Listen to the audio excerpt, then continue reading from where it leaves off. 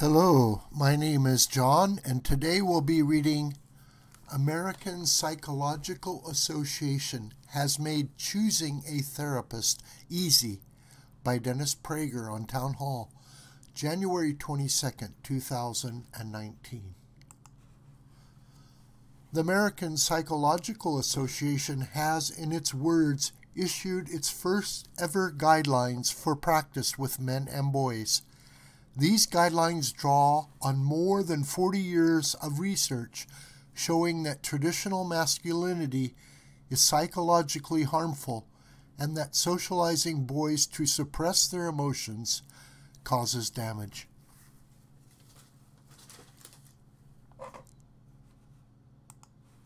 Three observations.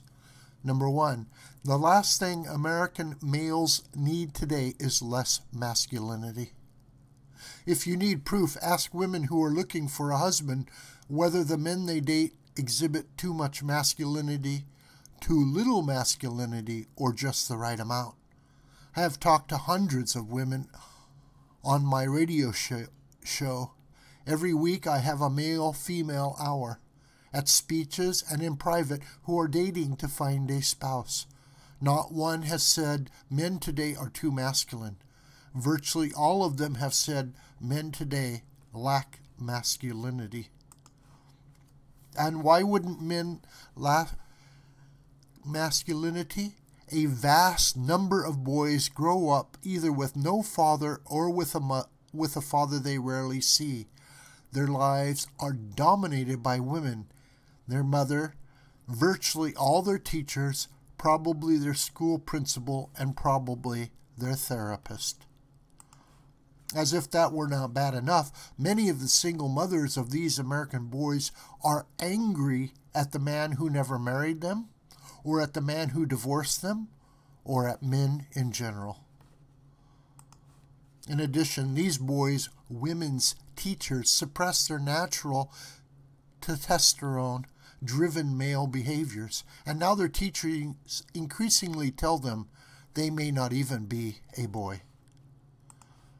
Of course, some men are bores, demanding sex on the first date, sending sex filled messages, etc. But most men know boorishness is not masculinity. Such behaviors emanate not from masculinity, but from poor upbringing and or the sexual revolution, which taught men and women that the sex drives of men and women are the same. But as psychoanalyst Eric Komisar wrote in the Wall Street Journal last week. It is a recipe for mental illness to tell boys that aggression, competi- competitiveness, and protectiveness is a sign of sickness. Number two, this is another example, the most important rule of contemporary life. The left ruins everything it touches. The left has ruined the arts, the universities, high schools, the nuclear family, mainstream Protestantism, Catholicism and Judaism, the Boy Scouts and journalism.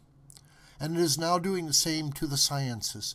Universities are increasingly choo- choosing science faculty based on gender and race rather than on scientific expertise psychology, and psychiatry have long been homes to left wing fools. Recall the 1964 example of 1,189 psychiatrists declaring then presidential candidate Senator Barry Goldwater psychologically unfit. But the AP statement will do even more harm.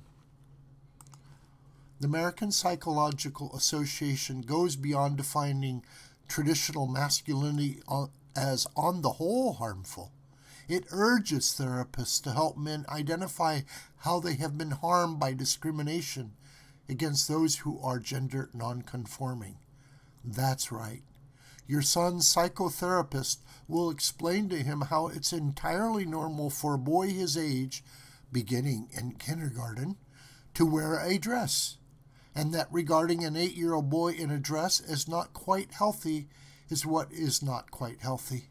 In addition, the APA hopes this therapist will reassure your son that he too may well choose to be a girl. In the words of Komisar, this is an ideological claim transformed into a cl- clinical treatment recommendation. That ideological claim is, of course, leftism.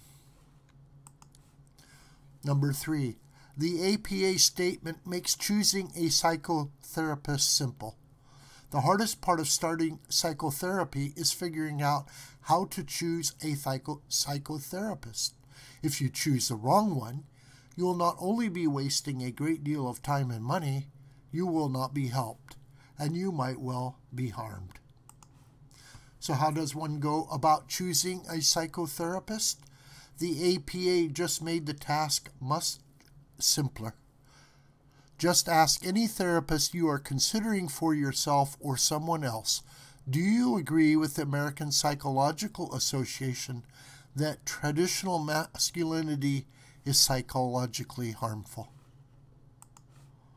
If the therapist agrees, thank him or her for her, their time and leave. If the therapist starts giving a prof- prolonged response, leave. Any therapist who cannot unequivocally condemn the APA statement is unworthy of your time and your money, let alone your psyche. Many will try to weasel out of it directly agreeing or disagreeing with the statement. They will tell you that sometimes masculinity is a problem, but they are just being careful not to lose you as a potential client. Such a statement is meaningless there is nothing that cannot be harmful at times. That includes femininity as much as masculinity, and includes such normally good things as water. A lot of people drown, after all. Without traditional masculinity, civilization is lost. Ask anyone you know who agrees with the using the term the greatest generation to describe the generation that fought World War II, whether the men of that generation would have fought, much less won, without traditional masculinity. Do not trust therapists who will not condemn the APA statement. They are either a fool or a coward. They may well be very kind and sincere, but that means nothing. You or your child will not be helped by kindness and sincerity you or your child will only be helped by wisdom. This video is a production of the School of the White Crane. My name is John Brooker. Please subscribe to this YouTube channel and share it on social media with your friends and families. May God richly bless you, my beloved.